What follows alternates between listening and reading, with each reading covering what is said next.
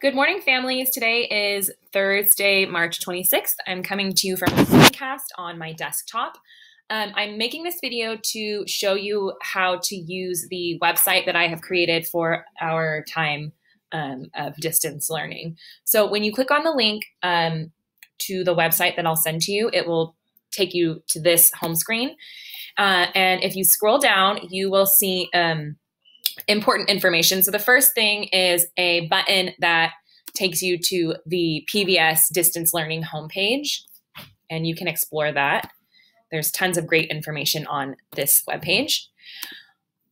Uh, there's some notes from me um, and a little bit of information on what I think would be helpful for us to do during these pilot weeks together. And that would be to explore all of the websites that I have bulleted here. Each, um, each one I have linked. So if you click on the name, it'll take you to the website.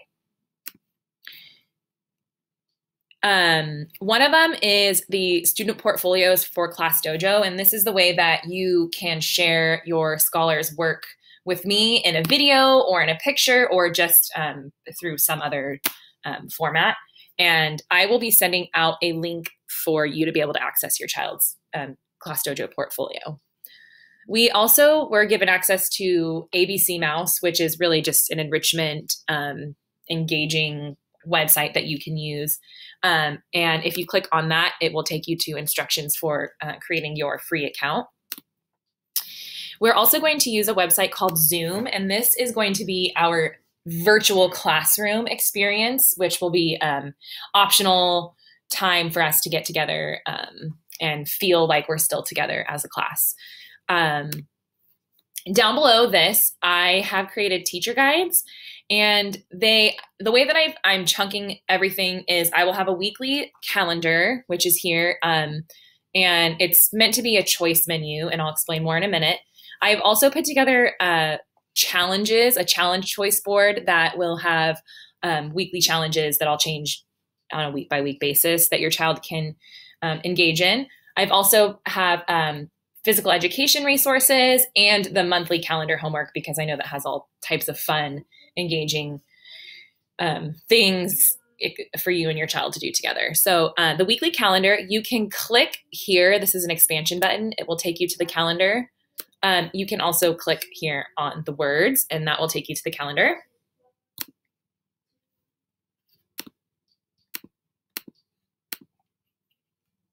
And the way that I've set the calendar up is I have must do's and may do's. The must do's are things highlighted in green, and these are things that I think are going to be important for us to maintain um, this distance learning um, program for the rest of the year. So if you click on the blue links, they will take you to either websites or maybe a video message from me, which will be the morning message. Uh, anything in orange would be a may do, which is really just more of an, uh, an enrichment activity.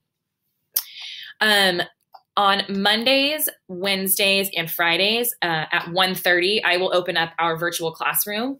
And this is this will be a time for us to continue to uh, work on social skills and um, emotional skills with your child so they can continue to um, get ready for kindergarten. And here is the weekly choice board.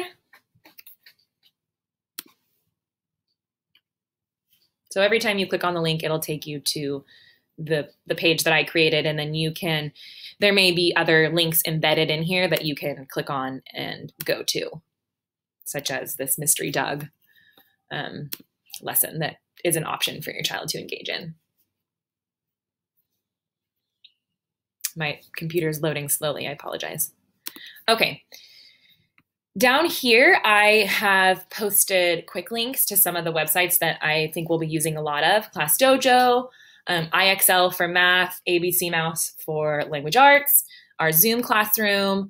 Uh, Storyline Online is a platform where you can find stories that your child can listen to.